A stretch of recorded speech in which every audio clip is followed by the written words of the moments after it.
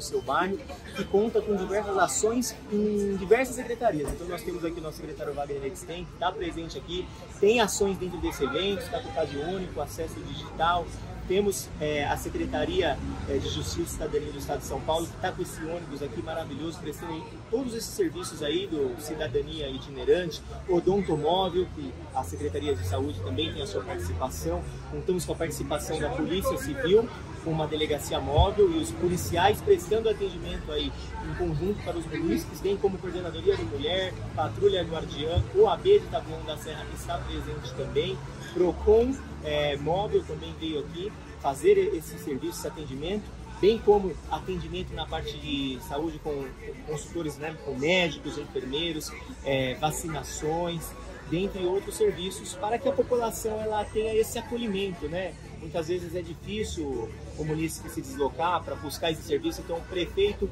ele teve essa brilhante ideia de trazer esse serviço para pontos específicos. Então começamos hoje aqui no Pirajussara e a cada mês iremos para um local, né, Wagner?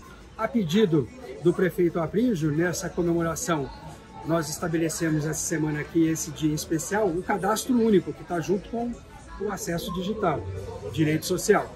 O cadastro único é um instrumento importante para aquelas pessoas que estão em situação de pobreza, de extrema pobreza, em situação de vulnerabilidade, fazer o seu cadastro, que é a porta de entrada para os benefícios socioassistenciais. De forma especial, o Bolsa Família, e aquela pessoa que ainda não acessou o Bolsa Família tem a oportunidade de fazer a solicitação do Renda Tabuão. O Renda Tabuão, ele é uma iniciativa do prefeito Aprígio, ele é uma iniciativa da Secretaria da Assistência Social. O Renda Tabuão não é um valor de 600 reais, mas é um valor que ajuda, é um valor que dá essa assistência para aquela mulher que tem filhos, para aquele idoso que não tem ainda uma, uma aposentadoria, para aquela situação de vulnerabilidade de uma pessoa, de uma família que tem uma pessoa que está com uma doença grave na família. Enfim, hoje, de forma especial, nós estamos aqui na subprefeitura da Quisaimon com acesso digital e com o Renda Tabuão para poder colaborar é, nesse dia especial de prestação de serviço à comunidade.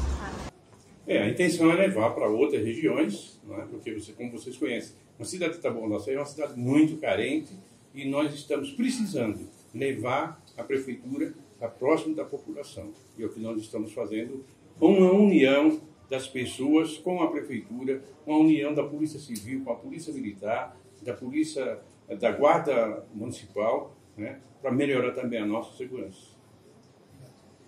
Prefeito, o governo está priorizando ações aqui na região do Pirajussara, já houve vários outros movimentos, e essa retomada da, da prefeitura no seu bairro começa aqui pelo Pirajussara. Qual é assim a avaliação que o senhor faz da importância dessa região para a nossa cidade, para a população? O Pirajussara é o coração do Tabuão, né? É, muita gente até fala que é, Pirajussara é a cidade financeira de Tabuão da Serra. Né? Então, é muito interessante a gente trazer também para cá né, esse desenvolvimento para as pessoas dessa região. E é muito interessante que nós estamos, vamos fazer muitos eventos importantes em Taboão da Serra, principalmente valorizando muito a região da periferia, principalmente aqui no Pirajussara. Prefeito, é, a cidade vai comemorar o aniversário. Quais ações vamos ter aí durante esses dias?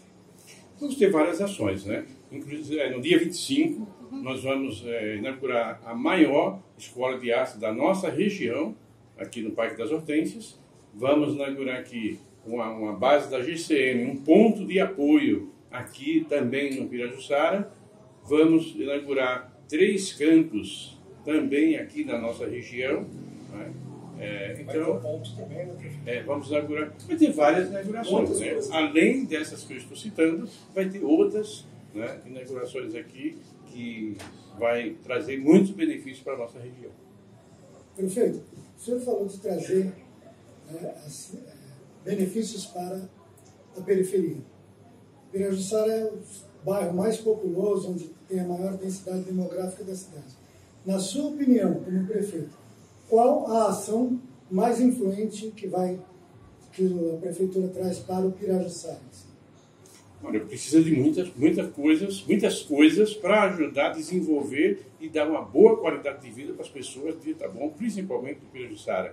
Mas a ação mais importante do momento, eu imagino que é a preocupação com a segurança.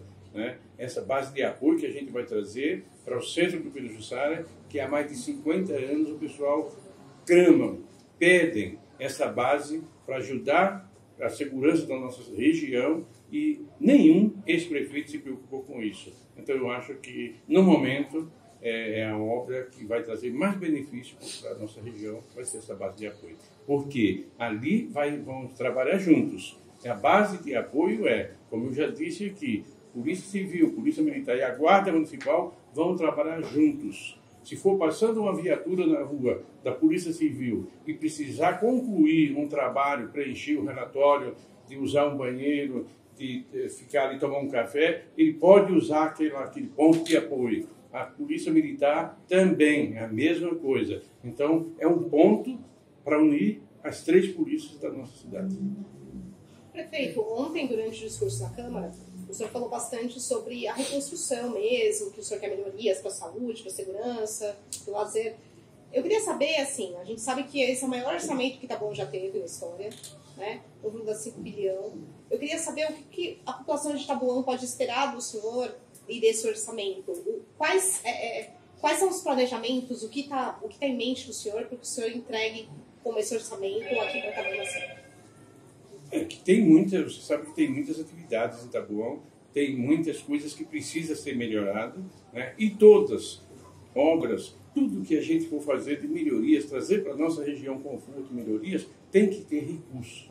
Política não se faz com discurso, como muitos políticos fazem, se faz com recurso. E nós precisamos de, desse recurso, essa melhora de arrecadação, exatamente para melhorar, como eu disse, a saúde, a educação, transporte, lazer, cultura, segurança, tudo só se faz se tiver dinheiro.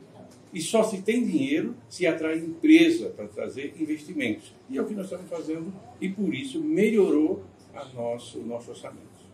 Não é um, um evento que está é, elitizado na parte central e está vindo mais para o lado da periferia. Acredito que São Judas, Margarida, Comunitário, Elizabeth ali irá receber esse benefício em breve, né, Alan? Através dessa ação de que o governo vai vai estar tá fazendo. Então, fico muito feliz e parabenizar mesmo o prefeito. 2021 nós vemos a maior crise sanitária Sim. mais do que 2020, efetivamente, né? Os 100 primeiros dias de governo, quem tem memória não se esquece os desafios e da crueldade que esse prefeito fez em não ter dado nem a possibilidade da transição. 2022 já teve avanços. Aqui nesse ponto que nós estamos, nós conseguimos inaugurar no nosso efetivo primeiro ano de governo. Né? O orçamento ele é fruto do empenho político e de gestão do prefeito Aprígio, ele é fruto de uma retomada econômica do, do, do país e ele é fruto principalmente das contas em ordens da prefeitura. Eu quero agradecer aqui ao nosso prefeito por trazer esse grande benefício que é a prefeitura no bairro, o Piraduçara, onde eu comecei a, minhas, as, a minha profissão aqui, né, em Pirajussara, trazer esse benefício próximo da população no bairro. E isso tem o apoio da Câmara, tem apoio de todos os vereadores, tenho certeza que nós vamos virar a página e a partir desse ano nós vamos recomeçar a reconstruir Taboão da Serra.